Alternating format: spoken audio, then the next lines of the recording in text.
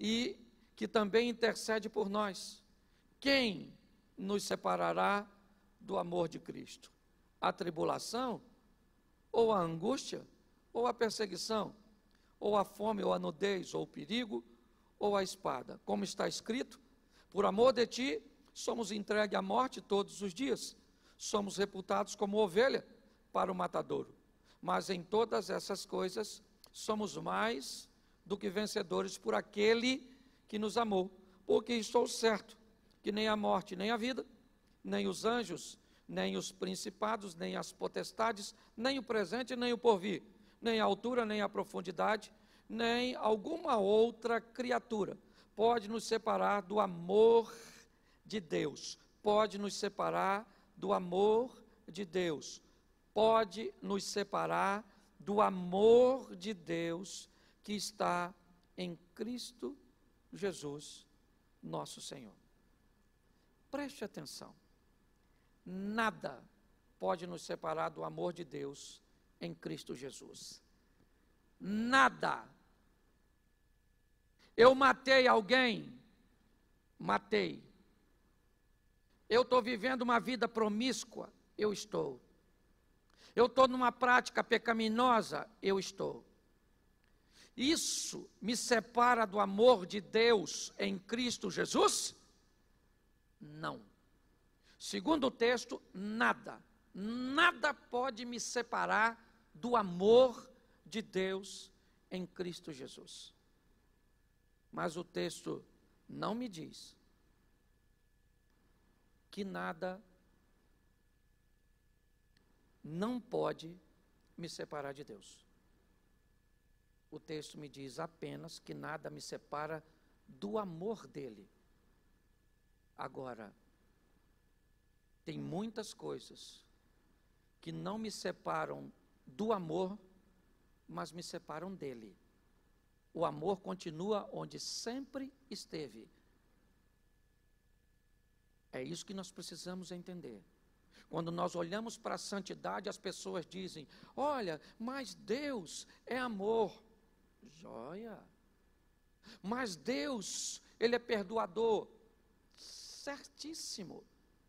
Por isso que o encontro com o Espírito Santo remete à consciência do pecado. A consciência do pecado faz você olhar a, ju a justiça. O que, que é justiça? O cordeiro morto para pagar o pecado que foi meu. E isso me dá direito de ter um juízo. Ou seja, a, na hora do julgamento, eu vou ser justo, porque o cordeiro me justificou. Hoje, o que nós vemos manifestação e expansão de supergraça, as pessoas podem fazer todas as coisas e façam. Estejam certos de que nada do que você fizer vai te separar do amor de Deus em Cristo Jesus. Só entenda que sem santificação ninguém verá a Deus. Não isole um texto para justificar sua fraqueza em tornar algumas coisas que não deveriam né, te afastar de Deus, que você não deveria empoderá-las com tanta força. Acesso ao amor de Deus e dizer que ninguém vai nos separar dele, isso é uma verdade absoluta, está escrito aqui nem morte, nem vida, nem potestades. Olha, nem as potestades podem me separar do amor de Deus, nem o presente, nem o porvir, nem a altura, nem a profundidade. Não tem tribulação, angústia, perseguição, nudez, perigo. Nada, nada nos separa do amor de Deus. Mas não confunda o amor de Deus do próprio Deus. Que tenhamos a ciência de valorizarmos. Essa história da Páscoa, na verdade, para os judeus, são sete festinhas: quatro na primavera, três no outono. Entre outono e primavera, o ambiente da igreja está inserido, certo? Páscoa, ele morre. Panzasmos, ele é sepultado. Primícias, ele ressuscita. Pentecostes, né, a manifestação do Espírito Santo 50 dias depois. Tudo isso é primavera. Agora, está vindo aí trombetas, está vindo aí o dia do, da expiação, está vindo aí. Nós estamos olhando um vulcão num local, um fogo numa estrutura, né? na Rússia. Nós estamos vendo tantas coisas acontecendo. Eu não posso deixar de alertar a você. Nós estamos chegando pertinho da festinha das trombetas. Já já as trombetas elas vão tocar. Precisamos entender, não banalize o que ele fez naquela cruz. Em qualquer outro lugar, aliás, o processo até hoje estava normal para todo mundo. Morreu, morreu. Foi sepultado, foi sepultado. O problema é que no terceiro dia não estava mais normal. Jesus foi o único que ressuscitou a si mesmo e vence a morte para nos dar o direito à vida eterna. O, o único túmulo, o único túmulo que está lá escrito, ele não está aqui. Ele ressuscitou. É isso que você vai ver em Jerusalém. Então não banalize. Entenda. Não, não discuta com ninguém por causa de coelho, por causa de chocolate. Não faz isso não. Ah, mas um absurdo. O co... é, não, tem, não discuta com o coelho, com o chocolate. Discuta com esse negócio não. Aliás, eu acho até que você deveria levar um chocolatezinho, um coelhinho. Dar de presente para alguém e contar a história para essa pessoa. Do que é o verdadeiro sentido da Páscoa. Agora, não banalize. Porque nós estamos chegando. E depois você dá uma olhadinha né, nas festinhas que estão para vir ainda, né, no contexto da igreja. E você vai entender que arrependimento e conversão é o que precisamos todos os dias. Se você está com dificuldade de amar um próximo e ser santo, essas duas coisinhas demonstram o seu nível de relacionamento para com Deus. Porque amar o próximo e ser santo é o que agrada a Deus a nível de essência. Não tem apenas acesso ao amor dele, mas consiga acessar a ele pela obediência e pela conversão. Eu acho que hoje vale uma boa reflexão sobre isso.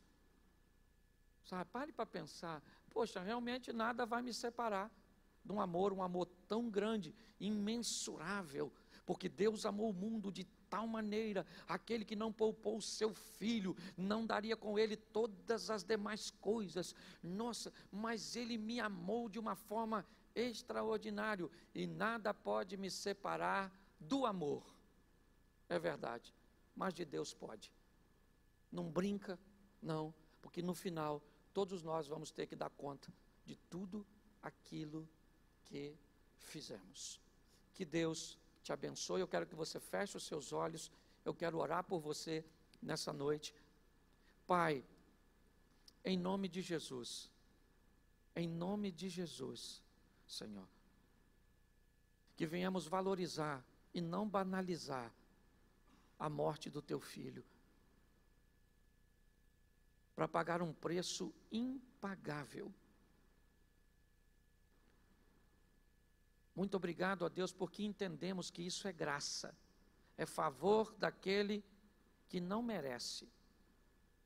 Mas a graça, ela não substitui o processo e o interesse pela santificação.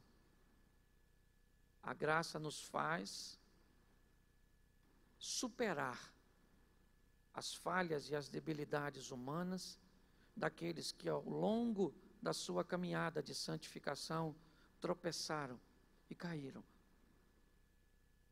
Que teu Espírito Santo venha nos esclarecer, venha abrir a nossa mente no que diz respeito ao que é pecado, ao que é justiça e ao que é juízo.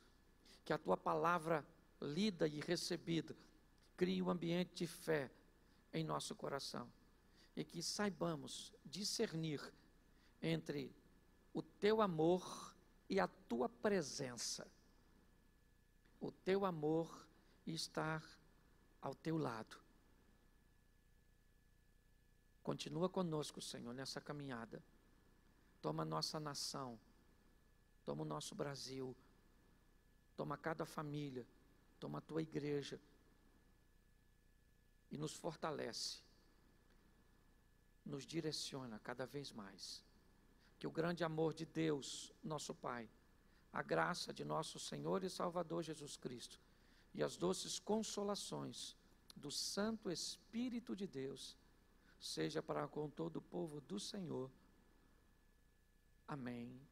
Glória a Deus. Eu quero me despedir de vocês e dizer que na próxima quarta-feira, às 19h30, nós temos mais um culto online e uma boa semana, que seja uma semana de vitória, uma semana de bons negócios, de boas notícias e que já já você aí do projeto Recomeçar possa estar conosco aqui, cultuando de forma presencial. Que Deus abençoe, bom domingo, graça e paz, que Deus abençoe a todos os presentes também, em nome de Jesus. Amém.